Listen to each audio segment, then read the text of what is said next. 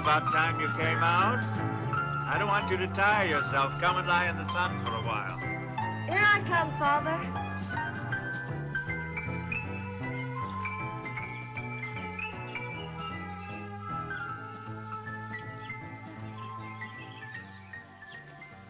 How's my girl? Oh, wonderful. Happy? Oh, yes, and then it's so wonderful for you to be here with me. It feels good. It seems strange you wanting to stay with me, keep me company. Why, dear?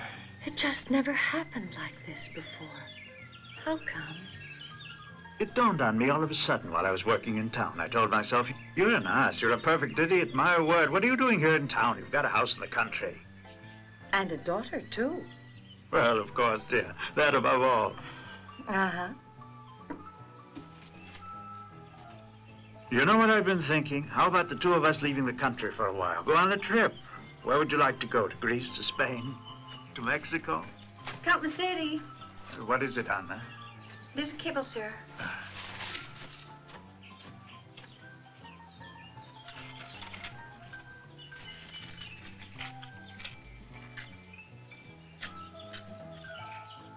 Ah, it's Irene. They're arriving tonight. Go and prepare the room for them, and have Antonio get the car and pick them up at the airport.